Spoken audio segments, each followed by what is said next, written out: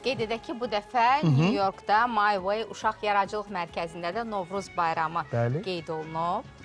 Bəli, əziz tamaşaçılarımız, e, New Yorkda Alyona Bədəlovanın rəhbərliyi ilə fəaliyyət göstərən My Way Uşaq Yaradıcılıq Mərkəzində keçirilib bu bayram.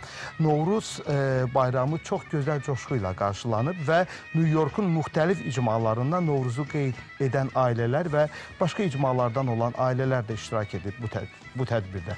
Mərkəzin rəhbəri Alyona Bədəlova qonaqları salamlayaraq bayramın tarixindən, Novruzun UNESCO-nun bəşəriyyətin maddi-mənəvi irs siyasına daxil edilməsindən və Azərbaycan üçün bu bayramın əhəmiyyətindən söz açıb.